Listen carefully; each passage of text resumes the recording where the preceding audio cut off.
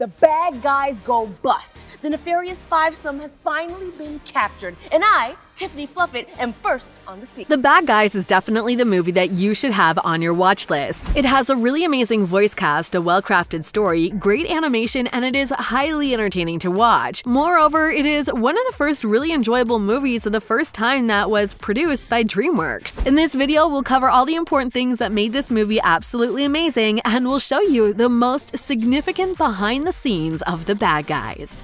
This is a chance to write your own story, to find a better life for you and your friends.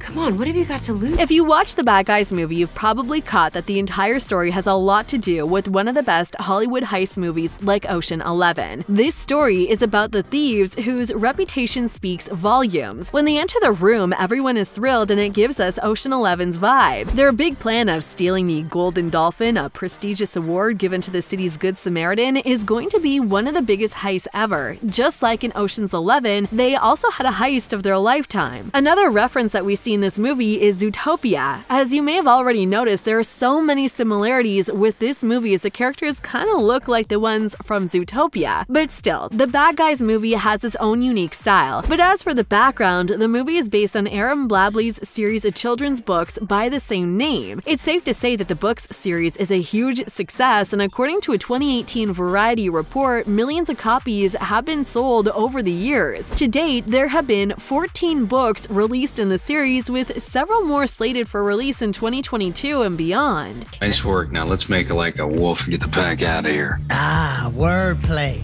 As we've already discussed, the Bad Guys animated movie reminds us of Ocean's Eleven a lot. According to the film director Pierre, the animation of the movie was something that he was wanting to be seen in an American animation for quite a while now. As for the inspiration, Pierre shared that it comes from the heist movies like The Italian Job, Snatch, Lock, Stock, and obviously Ocean's Eleven. Getting into the details, Pierre said, but also I think the very first influence for me was Quentin Tarantino's films and cinema, and it really came out of the look of that cover. The cover of the first book, The Bad Guys, is really those animals in black suits and they look like gangsters, and to me, it was Reservoir Dogs. I'm like, oh my god, this is perfect. Animals, gangsters, driving cars, robbing banks, money flying. It was exactly that. I would picture that right away, and so that was Reservoir Dogs meets fun animation. Have you caught that Tarantino movie vibe?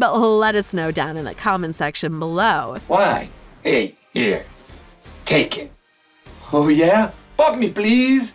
Uh-huh. The Bad Guys voice cast is diverse and the characters lend their talents to make the animated film all the more memorable. Sam Rockwell played Wolf, Snake was voiced by Marc Maron, Anthony Ramos voiced Piranha, Awkwafina was Tarantula, and Craig Robinson played Shark. Of course, there were other actors, including Zazie Beetz, who voiced Diane Foxington, Alex Borstein as the chief of police, Misty Luggins. Everyone who participated in the casting made lists and decided who would be good at voicing. Pierre, the director, was super happy to realize that every actor he'd chosen was on his list. He also shared that every actor had a huge influence on the character they played. They are so powerful and so strong that they define their characters almost on the first day reading for us. Sam and Awkwafina and just Alex Borstein, every single one of them would be there and just bring up the character, just bring them to life, said Pierre. He then continued, They brought so much to the point where we rewrote some lines for them to really match their voices and their acting style. And frankly, we managed to record them together so that there'd be some really kind of great improvisation and some kind of banter between them and make sure that the flow of the read was organic and felt right. We got no food. We got no money. We got no money we can use to buy food.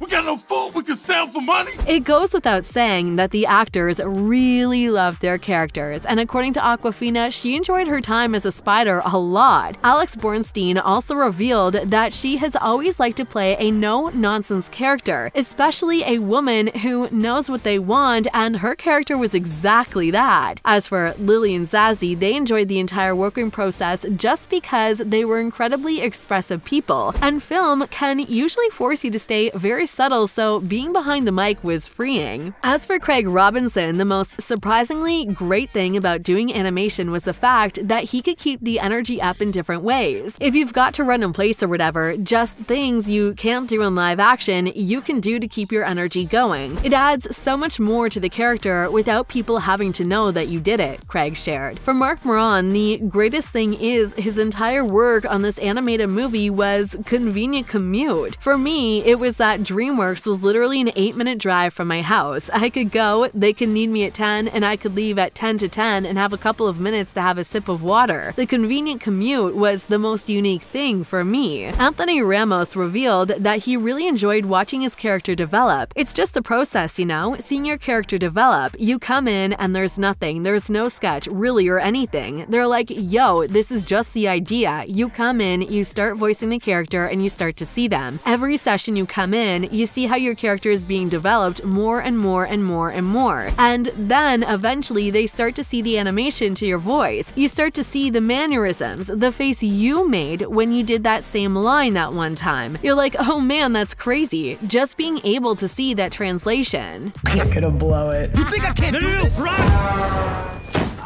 When you watch this animated movie, you definitely think that everyone on the team did their job absolutely perfectly. From voicing to animation, the result is brilliant. But here is one detail behind the scenes that we definitely need to talk about choreography. Susan Meisner, the choreographer of The Bad Guys, revealed that it was really important for her to make every actor feel their character. So she tried to start with the story first, and she leaned into the competitive and playful nature between Fox, Diane, and Mr. Wolf, Zazie and Sam. She said, I kept thinking a fox and a wolf, what they can do. Well, it seems like she got plenty of ideas as eventually the choreography was amazing and we're pretty sure you'll agree with us. But not only a fox and wolf, but a huge shark and other animated creatures had to look absolutely stunning. But then on top of that, you've got this story of friendship. That was actually kind of beautiful. So Susan revealed that she had to push the actors to their limits so they will make every viewer feel their character's energy. Shortly after the movie debuted, it became clear that it was a huge success as the movie made excellent box office. Moreover, the fans all around the world are curious now if there is going to be a sequel as there is probably even more books that are going to come. In his interview with Screen Rant, the movie director Pierre said that he is definitely thinking about creating another movie, but as for now, it is very difficult to predict anything. So he's just enjoying the entire process here and now, he said. That is definitely something to do, and of course, we're thinking about it. Of course, we want to see those characters be there again and come back. Honestly, I just enjoy the ride with them so much myself, bringing them to life, and I see my children's or friends of my children's reaction to this and wanting more and really wanting to embark with these characters, he went on, saying. Because you really fall in love with them. I think during the film, you want to see them and what's next. Yeah, we're thinking about it. Nothing's done. We don't know, but in a way, fingers crossed. You kinda hope. Have you already watched The Bad Guys? What do you like the most about this animated movie? Do you think there's a space for a sequel? Leave your thoughts in the comment section down below and we'll see you in the next episode. Bye. What is going on in this scene? I was hoping you were gonna ask me to dance. Oh.